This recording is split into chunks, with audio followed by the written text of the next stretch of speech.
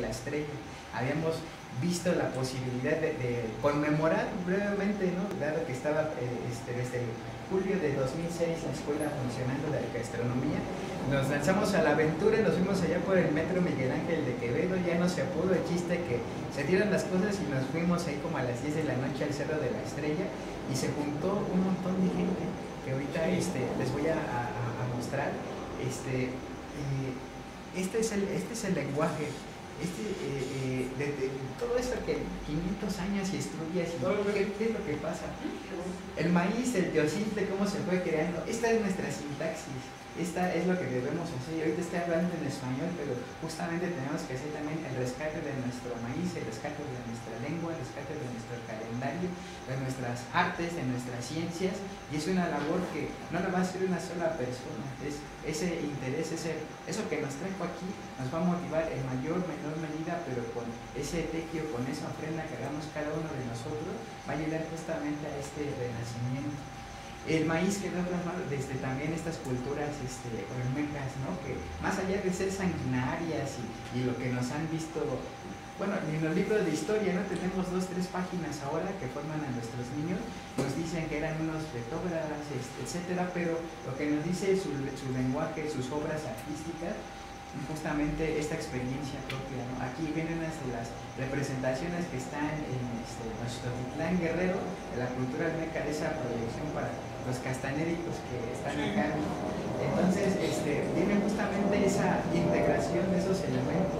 Había una codificación simbólica, cromática, este, que quedó plasmada. Y los templos actualmente es Estresapotes, una de las lugares más mágicos y misteriosos de original y está olvidado, no lo conocen. Y empresas petroleras han hecho eh, horrores ahí, este, abriendo carreteras, este, metiendo pozos en medio de los templos. Y esto es algo de lo que todavía queda erigido, ¿no? Templo de pues más de 3.000 años. Esta es una reconstrucción de, de Monte Alma que nos muestra el esplendor.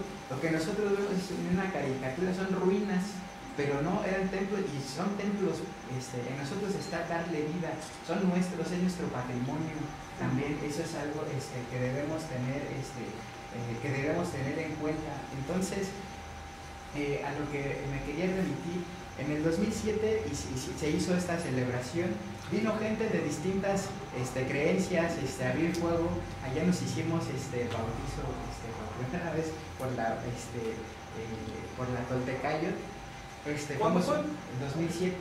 ¿A lo de Minatitlán? Este, bueno, allá también, este, pero en el Cerro de la Estrella. Hablamos de ese gesto. Ah, ya, ya. De ese gesto simbólico. Como 20 personas más o menos.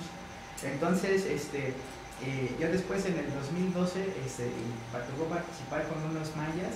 Este, me bautizaron maya y pues bueno, se dieron distintas circunstancias. Esto que les comentaba del libro sagrado, eh, me, me tiró a estar en este momento. Por ahí nos decían, por ejemplo, de, que hay cosas que ya tenemos desde hace mucho tiempo, que la tenemos en nuestra, en nuestra mente, que la tenemos en nuestro, eh, en, en, nuestro, en nuestro mundo en nuestra forma de vida, en la forma en la que nos eh, desenvolvemos, la manera en la que este, asumimos y ahora sí vemos la vida, ¿no?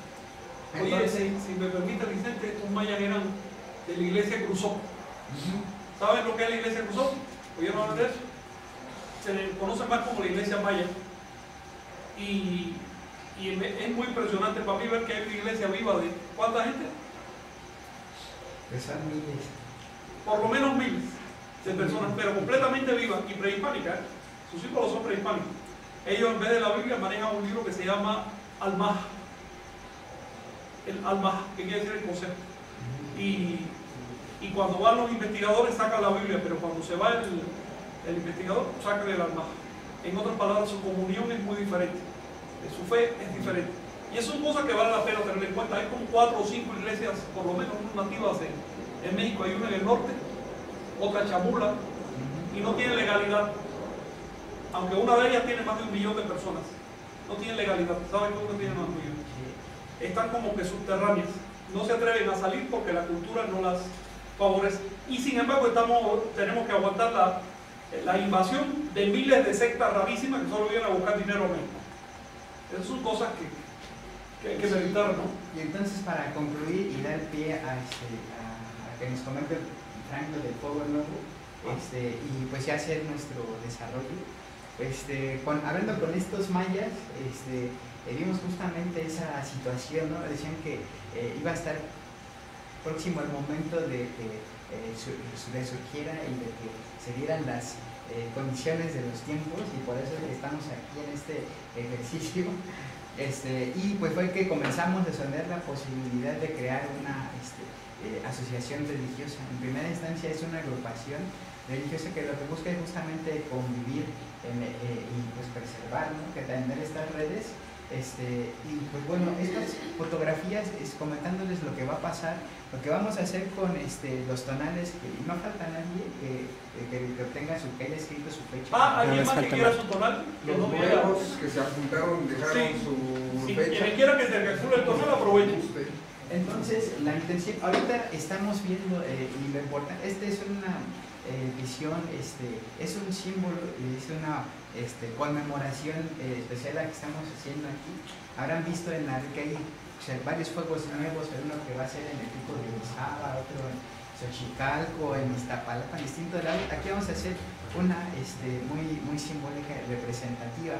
Eh, cuando ustedes hagan, este, ya, ya, ya Jonathan les hizo este, los tonales, este, para que también los puedan verificar, vamos a hacer una, una ofrenda y eh, ¿Alguien sabe cuál es la construcción o el templo más alto en el mundo? Tenemos la idea que son las del Tíbet, las del Himalaya, este, eh, Machu Picchu, por ejemplo, está a 2.600 metros sobre el nivel del mar. Este que vemos acá atrás es desde el templo del Monte Tlaloc a 4.150 metros. Mm. Entonces, lo que ustedes, los que gustan participar, que nadie está obligado, este, lo que vamos a hacer, la ofrenda que este, vamos a integrar, la vamos a depositar allá en febrero.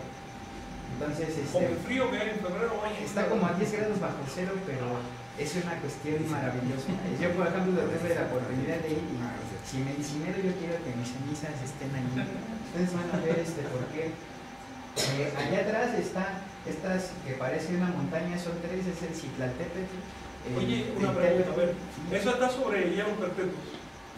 No, no, no, el templo está en el área de congelación. ¿Está está... El templo está en el área de congelación perpetua. Ahí no se derrite el agua. Sí, hay tierra. Sí, hay tierra, pero quiero decir eso. Ahí arriba, si tú dejas algo, ya no se propone. No, es que ni hay animales, o sea, cuando estás todo arriba, o sea, también es para la gente que pueda hacerlo, o sea, como ahorita no vamos a ir al cielo de la estrella o al tipo no, mi pregunta es porque si llevas amantes o lo que sea para allí, van a estar 10.000 años. Se van a encontrar dentro de Sí, porque Arriba me dijo que, que, si hay ofrendas y algo, ahí mismo están tal como las de agua, así tal cual. Solo se secan, pero no se publican. Les, enseño y ya para que podamos ir hacia lo que, como dice Lucha, con lo que te truque Chencha. Sí. Este, allá arriba, a más de 3.900 metros sobre el nivel del mar, eh, hay 40% de oxígeno. Se dan fenómenos lumínicos muy interesantes que podrías decir, ah, es, un santo, es un ángel, es la Virgen. No, son los cristales este, que se mueven a la atmósfera, ¿no? Este es nuestro amigo sí. con el que estamos allí en el templo este, principal. Esto está a menos de 3.900 metros, nada más para que tengan una idea. Y hay este, eh, unas cosas maravillosas, ¿no? La cosa de las montañas, este, y bueno, les decía, arriba de los 3.900 metros pues ya no hay nada. Este, Oye, ¿pueden avisar cuando vayan a ir? Sí, para... segunda semana de febrero, entonces... ¿Ahí tiene Pedro? Segunda semana, sábado y domingo. Ahí está el, el, acceso, son 100 metros de ese este, pasillo. Eh, pasillo y luego está el templo como 1000 metros. ¿Qué hace así el pasillo, no? Como una serpiente. Este, no, es recto. Sí, pero creo que las paredes tienen como un, una ondulación, ¿no? Algo así. Sí, sí, pequeña. Entonces, de ahí se produce, este, este es el... Eh, el fenómeno de la montaña fantasma. Ajá, exactamente. Entonces las tres montañas este, se hacen una cuando sale el sol detrás de ella este es en la noche, sí hay que prepararse, pero en el amanecer, ahorita fuimos ahí esa vez como 4.000 personas, van como a, a, petición, pero nosotros dijimos otra cosa. Entonces, y esta es una pirámide fantasma que se proyecta sobre el Valle de México y llega al este, Tepeyac. Atrás tenían una pregunta. No, no es pregunta, es observación, es que eh, subidas a la montaña fantasma han sido desastrosas para el Sí. Monte Sí. Las personas que van, van a, a, pues, a echar el coto nada más, hay, hay un montón de droga, este, queman toda su basura, hacen una montaña de basura y la queman, por el camino van dejando basura, este, hacen sus cosas por donde sea, este, hacen demasiado ruido, llevan ya hasta bocinas, ha sido desastrosas esas subidas. Eh, mi pregunta sería si eh, cuando suben ustedes eh, ahora en febrero, ¿van a hacer otra vez esta situación? Porque ha sido penoso, muy No, penoso. Y es cerro, el Pero hay algo detrás, nosotros- A nosotros nos tocó ir, nosotros vamos en abril cada Vamos a año ver. y este y nos tocó ver todo el claro quemado porque justo cuando fueron en febrero dejaron cosas que se que provocaron el fuego entonces toda casi toda la parte de arriba estaba incinerada ¿no? y lo que más sufre pues, son los coyotes Claro. porque pobrecitos pues, ellos tienen que comer ahí y todo y eran así como bien bien penosos es una zona hermosísima y desastrosamente el- el- cada vez que hacen estos eventos tan masivos eh, están destruyendo la montaña. Sí, o sea, por eso es justamente la función que queríamos hacer allá, no, no, a, o sea, estamos nosotros honrando a nuestros ancestros, no no vamos a ir a, a embriagarnos ni a hacer fiestas ni a cosas raras, nosotros vamos a hacer un acto, eh, y depende también del contexto, por ejemplo, yo eh, académicamente a mis alumnos eh, los llevo a subir la montaña de Xochitepec, en Xochimilco, a 2160 metros sobre el nivel del mar, y una montaña que el pueblo, que los pueblos cuidan, un, un solo envase de, de refresco en el camino nos encontramos, porque vamos y recogemos basura, un solo, arriba sí hay grafitis. Porque ahí el pueblo está. Exactamente. Entonces, eh, lo que hay que hacer justamente es retomar, es una siembra justamente de concientizar, que ese es un recinto sagrado, no es lugar para, o sea, nos decían que también, creo que una vez se subieron unos este, camiones 4x4 y ahí andaban sobre el templo, ¿no? o sea, hasta ese grado, y justamente lo que vamos a hacer es, ¿saben qué? Este es un sitio sagrado y este... Queremos reclamarlo para los becarios. Oye, pero hay un detalle. Que ya no hagan este tipo de eventos allá arriba. Pero, porque- pero es que hay un detalle, Elizabeth. La cosa es peor de lo que dices, pero mucho peor. Eh, ciertas, eh, cier- ciertos arqueólogos encontraron que el mejor modo de proteger el sitio era llevar a grupos grandes de gente. ¿Sabe de eso? ¿Te enteraste? ¿Sabe por qué? Porque cierto político del país había comprado grandes extensiones y ya pensaba tirar eso para hacer una carretera y hacer su rancho de atrás. En otras palabras, la misma